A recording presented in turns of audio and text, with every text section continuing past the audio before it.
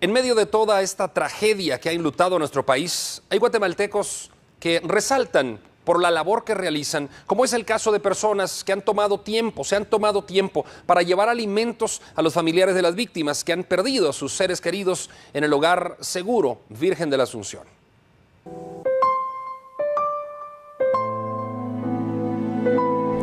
Desde el pasado jueves, varios guatemaltecos se han acercado a las afueras del Instituto Nacional de Ciencias Forenses INACIF para llevar agua pura y alimentos a los familiares de las víctimas que han llegado al lugar para identificar y recibir el cuerpo de sus niñas. Realmente es un corazón de madre que no me deja dejar a, a una mamá aquí sola sin saber qué más hacer y en espera de sus reacciones, pues también habemos con otro grupo de amigas más.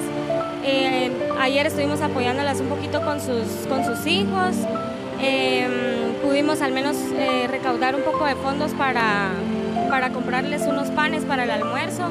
Y anoche pues que se nos ocurrió también organizarnos en el grupo pues ya de Facebook para poder traer un poco más de, cosas. Ahorita pues ya pudimos dar desayunos, al menos algunas personas que ya están acá.